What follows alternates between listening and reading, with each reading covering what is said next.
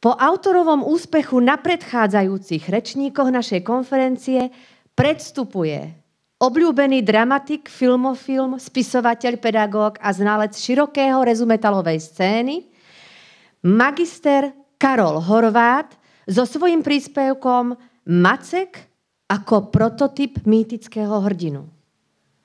Majstre, mikrofón je váš. Nech sa páči.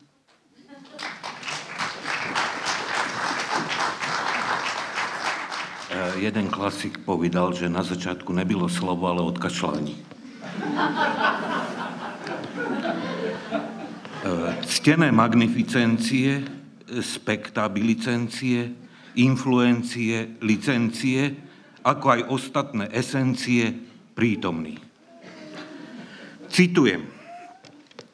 Pravdy obsiahnuté v náboženských doktrínach sú konec koncov natoľko zdeformované a sústavne zakrývané, že väčšina ľudí v nich nedokáže spoznať pravdu. Je to rovnaké, ako keď hovoríme malému dieťaťu, že bábetka nosí na svet bocian. Aj v tomto prípade hovoríme pravdu, zahalenú do symbolického hávu, nakoľko vieme, čo znamená veľký vták. Sigmund Freud. Už po tretíkrát sa toporí v centre najmladšej a najprogresívnejšej vedy v kine Záhoran veľký vták, aby priniesol ľudstvu novorodenca najrídzejšej pravdy. Už po tretíkrát bude milosrdne zahalený do hávu veselého bociana, pretože ľudstvo stále nie je pripravené na to, čo v skutočnosti za žabu práve držíme v našich mohutných zobákoch. Ako píše vo svojom fenomenálnom diele Tisíc tvári hrdinu komparatívny religionista Joseph Campbell, citujem, tragédia je rozbíjanie foriem a našej oddanosti k ním. Divoká a bezohľadná komédia je nevyčerpateľnou radosťou z neporaziteľného života – Účelom samotnej mytológie a rozprávok je odhaľovať konkrétne nebezpečenstvo a metódy temnej vnútornej cesty od tragédie ku komédii. Konec citátu. Pozrime sa teda v duchu nastoleného na archetyp mýtického hrdinu, pevne kráčajúceho od svetla poznania, aby sťa bajný Prometeus znalosť o ňom zvestoval slepému ľudstvu, a ako trest za tento statočný čin sa nechal prikuť o skalu ľudovej piesne a naveky trpel, keď mu opití speváci svojou falošnou intonáciou vydobávajú pečeň. Áno, vážené kolegyne a kolegovia, rečie o Macekovi. Podstatou prerodu obyčajného smrteľníka na archetypálneho hrdinu je vykonanie cesty ako iniciačného rituálu. Bez cesty, plastovej fľaše s vodou a rautičinky apoteóza nie je možná. Len po prekonaní všetkých prekážok môže hrdina dospieť k najvyššiemu poznaniu a transformovať na vyššiu formu existencie. Vyššie uvedený kolega Campbell zozbieral a analyzoval mýty z celého sveta, aby z nich vyabstrahoval základnú pravdu, a to, pardon, že všetky mýty tárajú v podstate o tom istom. Hrdinu postretne niečo nečakané a vydá sa na cestu. Počas cesty ho permanentne niekto otravuje. Či už mravce, vrabčeky, medúzy, jednoky obry, žaby zúfalo túžiace potom, aby im niekto boskom zmil slis z papule, slovenská pop alebo jednoducho osud. Samotná cesta je pritom prípravou na iniciáciu a finálny súboj s hlavným antihrdinom a táto cesta je onou vytúženou iniciáciou. Starý hrdina zomiera, aby sa z jeho prachu zrodil nový.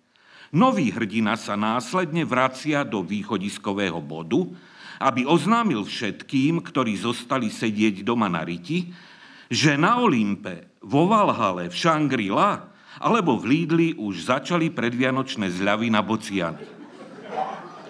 Čo však s hrdinom, ktorý je mytologickým endemitom.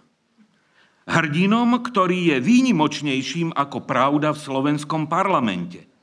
Hrdinom, ktorý je mýtom sám o sebe. Joseph Campbell bol natoľko dôsledným bádateľom, že prastarý mýtus o ceste Maceka mu nemohol uniknúť. Fakt, že v jeho bohatej literárnej pozostalosti sa nenašla žiadna explicitná zmienka o Macekovi, iba potvrdzuje dôležitosť samotného macekovského mýtu.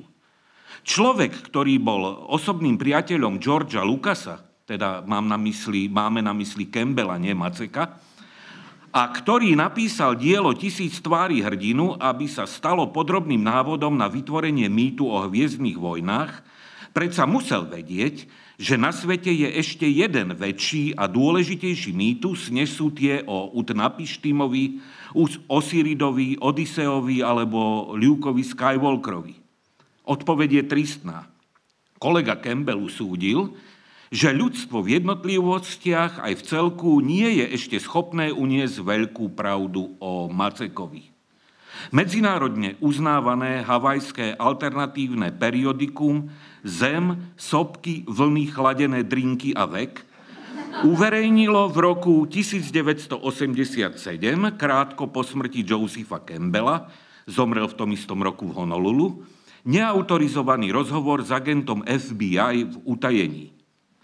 Tem okrem iného povedal, citujem, po nesmiernej námahe sa nám podarilo zo soptiaceho krátera sopky Kilauea vytiahnuť Campbellov osobný trezor, ktorý si tam ukryl pred smrťou. Po ďalšej neľudskej námahe sa nám podarilo trezor otvoriť. Sprvu sme si mysleli, že je úplne prázdny.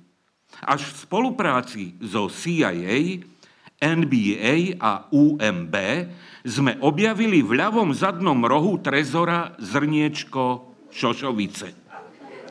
Čo to malo znamenať, doteraz neviem. Konec citátu. Ale my vieme, vážený pán agent v utajení. Veľmi dobre vieme, na čo odkazoval kolega Campbell. Macek sa totiž nevydal na cestu, aby sa prerodil. Nechcel sa meniť, pretože ako jediný človek v oficiálnej aj všetkých alternatívnych históriách sa narodil už zmenený. Apoteovaný Macek vyrazil z kolektívneho nevedomia ľudstva rovno do Malaciek, aby nám všetkým oznámil dve základné pravdy. A tie sú. Pravda prvá. Copy byli na hambálku. E, cepy byli na hambálku. Prepačte, to je tým rozrušením. Pravda druhá co bude na oběd. Všimnime si, že imperatív prvej pravdy Macekovej je rafinovane vyvážený interogatívom pravdy druhej v snahe udržať jemne utkanú harmóniu sveta. Zásadná pravda Macekovského mýtu v transatlantickom vedeckom okruhu, nazývaná aj mýtická cesta Šošovice, totiž tkvie v tom, že najväčšie tajomstvo je ukryté v samotnom fakte, že je. Zamyslite sa nad tým.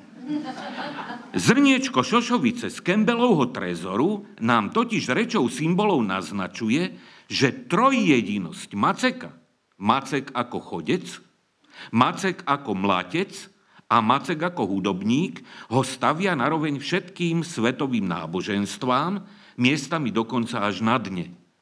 A to sa ešte z dôvodu nedostatku miesta, času, spôsobu a príčiny nezaoberáme tajomnou a desivou skutočnosťou, že náš trojediný hrdina bol slepý. Dovolíme si zakončiť našu vôbec neskromnú úvahu citátom velikána kontemplatívne konfrontačnej lingvistiky, ktorý ako buldozér zhrňa vyššie uvedené. Žiaden Macek nedokáže dať toľko šošovice Maceku, ako dokáže dať len Macek Maceku. Ďakujem.